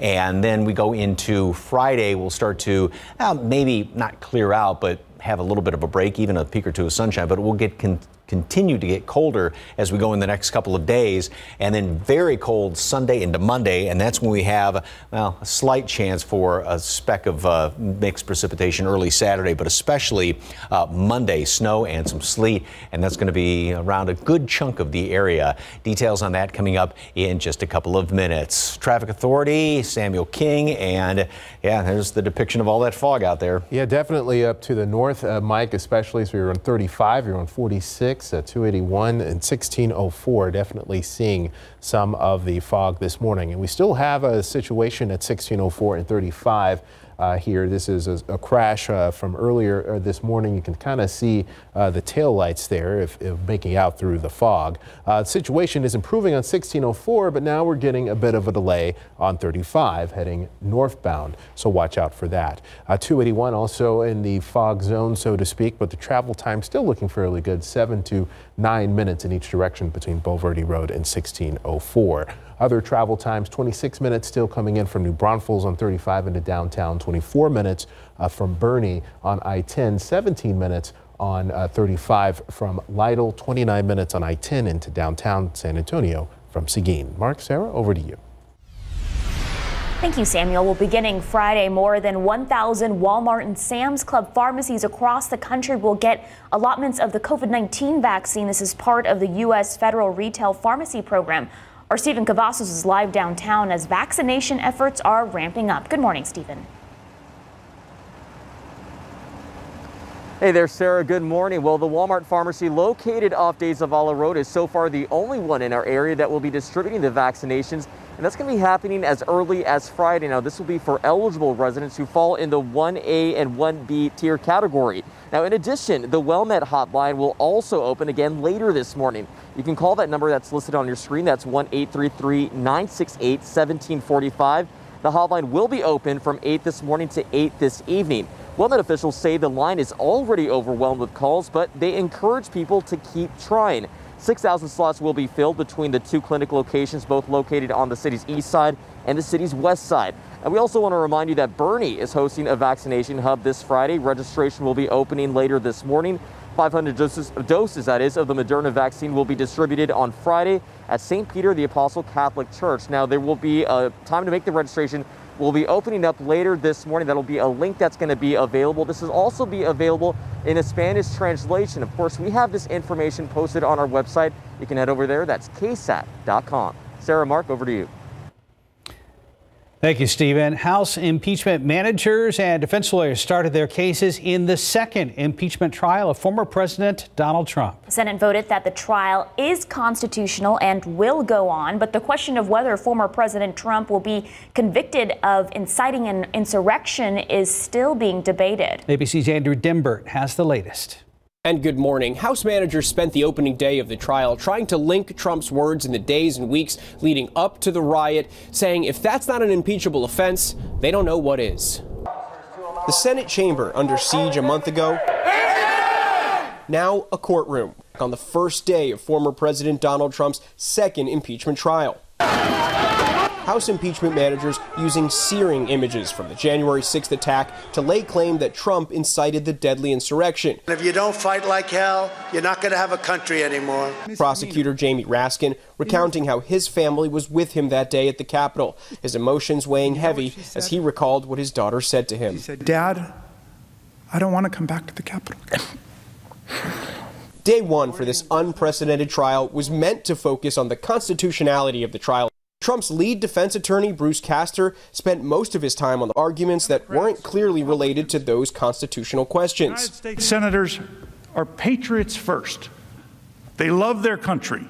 And sources tell ABC News Trump was not pleased with the performance of his defense team. Trump's other attorney, David Schoen, trying to assert since Trump was removed from office by the will of the American voters, Democrats have no case. For a great many Americans see this process for exactly what it is a chance by a group of partisan politicians seeking to eliminate Donald Trump from the American political scene. But after the four hours of arguments, senators voting to move ahead with the trial, with six Republicans siding with Democrats that the trial is constitutional, even though Trump is no longer president. Andrew Dymburt, ABC News, Capitol Hill. In your morning headlines, the Biden administration might require passengers to receive a negative COVID 19 test before flying in the, U- in the U.S. That's according to Transportation Secretary Pete Buttigieg, who spoke to Axios on HBO. He says the CDC is looking into the option and that data and science will guide any final decision. On Monday, the new CDC director said screening for a U.S. traveler for COVID 19 could be helpful. There is some new optimism about jobs across America after the new report from the Labor Department. It shows layoffs were down slightly in December while job openings slightly increased. However, experts say it appears employers were slower in actually hiring employees, leading to December's decline in overall employment. Two of the biggest names in stocks, the New York Stock Exchange and NASDAQ, are each going to court against the U.S. Securities and Exchange Commission. The issue is about new federal plans that would require the exchanges make more, pub, more make information more public. That data is typically sold to investors at a premium. There is a replacement for Aunt Jemima. The brand of pancake syrups and mixes rooted in racial stereotypes is being retired and replaced with a new name, the Pearl Milling Company. PepsiCo says products under the new brand will start showing up in June. Working from home may be transitioning to working while traveling. Airbnb says it is starting to see a trend of longer stays at its locations. The company says one of its biggest segments is monthly rentals. Twitter considering fees to use its platform. The company says it's exploring subscriptions and other revenue generating features. Its primary moneymaker is still ads. And according to Bloomberg, one idea Twitter is considering is allowing people to tip the users they follow. Spotify says it's testing the streaming of live lyrics in the U.S. as the music streaming service started offering the new lyrics feature to some American users yesterday. The company has not said when the test will expand. This is the second time the feature has been offered in the U.S. The first time stopped in, two, in 2016.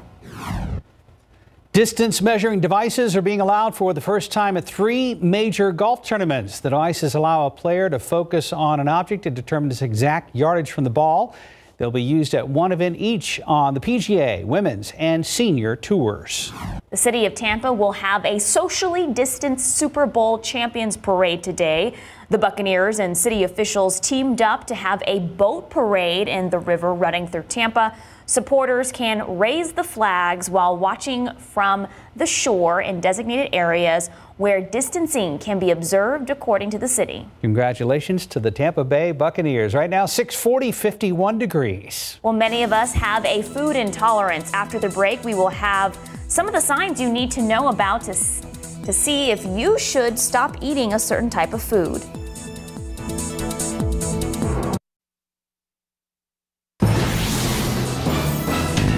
You're eating be killing you? If you have trouble digesting certain foods, it could be a food intolerance. Symptoms include gas, bloating, constipation, weight gain, fatigue, joint pain, acne, and brain fog. The esophagus gets narrowed into a stricture and food actually gets stuck. But it's different than an allergy. While a food intolerance targets your digestive tract, a food allergy affects your immune system. There are some tests to detect if you produce IgG antibodies after eating foods, but the jury is ah. still out on their effectiveness. Standard allergy testing, which is the specific IgE, the blood test or the skin prick test, really don't identify foods in this disease because this disease is sort of a different mechanism. If you think you have a food intolerance, it's best to see your doctor, keep a food diary, and try an elimination diet where you remove certain foods to help pinpoint triggers. Most professional organizations don't recommend the IgG test due to lack of evidence, and most insurance companies won't cover the cost. RJ Marquez, KSAT 12 News. 645 this morning, we're continuing our look behind the scenes as we give you a taste of what we do here at KSAT. And as we mentioned in our last hour, we are answering some frequently asked questions and giving you a sneak peek of what it takes to be part of this industry. Here's some of what the KSAT team had to say about their role at the station. Take a listen. Don, what do you do here? I'm a director. I've been doing this for 32 years now. I first looked over the, the entire show in the newsroom, and I put codes to every story so that those codes will put the uh, shots on the air and the videos on the air. Joy Presley. I'm the executive producer of GMSA. I'm in charge of handling the reporters, the producers, our show, flow, content, everything. We're live at such a, ver- a variety of places. I mean, one day we could be at a new bar and restaurant, the next day we could be at the hospital. Next day, we could be out at breaking news at a shooting. You never really know what the next day is going to bring. My name is Beatriz Ramirez. I'm an editor here for KSAT for the GMSA. Hello, everybody. My name is Hardy Meredith, and I'm one of the producers for Good Morning San Antonio on KSAT 12. I produce the 4:30 a.m. to 6 a.m. part of the show, and as you can see, I'm not at the station. I'm actually working from home. That's a cool setup. I mean, we'd heard about some of the, I mean, they're like, we can see you guys in the studio even when we're not on the air. we didn't really believe them till now. Yeah. We have more of this story coming up today on GMSA at 9. So good to see all of our behind the scenes people. And you can also check out all the interviews on KSAT.com. Just look for the story in the KSAT Kids section. Samuel King is standing by with an update at 647. Uh, good morning, Sarah and Mark. As Mike's been mentioning, the cold weather coming up. So here's some uh, some reminders from uh, AAA Texas. Uh, make sure to check your battery systems because uh, cold weather that we're expecting can be hard on batteries. Switch off your lights, your heater, and your wipers when you turn off your engine. Also unplug those cell phone chargers. Keep a heavy blanket in the trunk just in case this weekend you get stranded, especially if you're planning to head north of our area this weekend. And also check your tire pressure uh, coming up in the next few days because that'll be something to keep in mind. Uh, have the crash looks like it's cleared at uh, 1604 and 35, but now we have a delay on 35. So if you're heading northbound on 35 toward New Braunfels, it'll take you 26 minutes from 410, uh, 19 minutes uh, heading into town. So that's still looking good heading southbound, but again, northbound some delays. And this is 410 at Jackson Keller. See some of the traffic building there, but it is flowing and you can kind of see sort of the mist and fog and everything this morning, guys. Well, Mike, I wish you had more to talk about this morning. I know the forecast is extremely boring for the next week. yeah, and uh, it is. It's cold. It's chilly out there right now, uh, except way down to the south. And then it's going to be getting colder. And it's always that fine line around here where you either have rain or then a little bit of uh, some mixed precipitation. We may start to see that tomorrow morning up in northern parts of the hill country. We've got the fog to deal with this morning. A little bit of light rain, especially down to the southeast. And even though nothing's being picked up Further to the north, there's a lot of mist out there. The roads are definitely damp, and everybody has some fog this morning. There are no advisories posted because most all of the uh, readings are above a quarter of a mile. Some spots are a little bit lower than that, but no widespread, really, really thick fog. It's just, uh, it's just yucky out there. And with all this moisture, too, it makes it kind of a damp chill. So 51 degrees really kind of seeps down the back of your neck. 40s up to the uh, north, and then look at that, 70 in Laredo.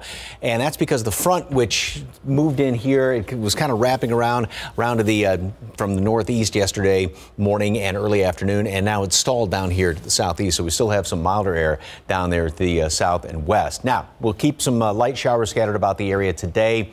About a 20 30% chance for some rain. It won't be raining constantly, of course. We keep a lot of clouds around. Then in the overnight hours, we start to get some of that colder air moving into parts of the hill country with some of the moisture. So there will be a little bit of uh, some mixed precipitation even up toward Austin, Kerrville, maybe into Gillespie County, parts of Blanco County. And this would be early tomorrow morning and through portions of the uh, the commute. Shouldn't be too much on some of the uh, elevated uh, roadways, overpasses, and uh, grassy surfaces. Maybe it's not going to be a lot of precipitation. Doesn't look like tomorrow morning, but we will have more of it throughout the rest of the day. Tomorrow, the best rain chances are going to be throughout the day tomorrow. Now we jump ahead into the weekend. Saturday also, which uh, really small chance up to the north. A little bit of mixed precip precipitation early on Saturday.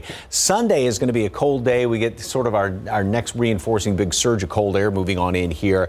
We'll have some rain around later on and then some uh, fairly decent chance for some sleet as well as a little bit of snow or even some freezing rain mixed in early on Monday, and that'll be uh, moving on out of here. Like I said, some really cold temperatures. Looks like it's going to be windy as well on top of that Sunday into Monday. Today, temperatures pretty much aren't going to be moving throughout the day. We stay in the low 50s all day long, uh, a couple of scattered showers here and there, and then the wind is going to pick up later on late this afternoon, and tonight's going to be breezy overnight. Tomorrow, we'll have some mix tomorrow morning up in uh, northern parts of the hill country and that'll be a little bit of a sleet or freezing rain and then just showers otherwise temperatures again stay pretty much steady mid 40s, low 40s on Friday, a very damp chill, even a little bit of sunshine peeking through on Friday, but then cloudy skies on Saturday, slight mix early up to the north, very small chance of that, only 40, and then it's going to be colder Sunday and Monday, blustery on Sunday, and uh, the chance for some snow and or uh, sleet or freezing rain early on Monday. Can't remember the last time you had both a wintry mix and snow on the seven day, same seven day forecast. It's it's been a while. Mm-hmm. It has been a while. Yeah. Thank you, Mike. Mm-hmm. 651, 51 degrees. Well, you may have seen stories on KSAT about the role of prominent black Americans in our collective history. It's all part of Black History Month. Tomorrow on GMSA, we will take a look at the origins of the annual celebration. We take you outside with live cam. Out there right now, we've got uh, heavy traffic you're going to want to slow down this morning. The weather is a little bit on the iffy side. Top stories coming up right here on GMSA.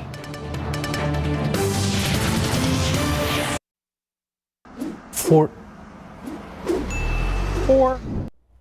Hi, everyone. This is uh, 655. Here's a look at uh, uh, traffic uh, here. We have some fog uh, reported, especially north of uh, 410 in Bexar County, so look out for that. Still have the situation at 35 and 1604, a bit of a delay there, but travel time still looking good all around, especially on the west side this morning. And Mike, definitely some fog and mist to watch out for. Yeah, roads are definitely damp out there. Visibility all around the area. Everybody pretty much is seeing some fog far and wide, and we do have some of these light showers, which will continue throughout the day, off and on. Temperatures are going to be holding steady today. We are going to be staying just in the low 50s here, and uh, all the allergens are on the light side. And then tomorrow morning may get a little dicey in northern parts of the hill country. All right, thank you guys. Thanks for watching, everybody. Good Morning America's next. We'll see you at 9.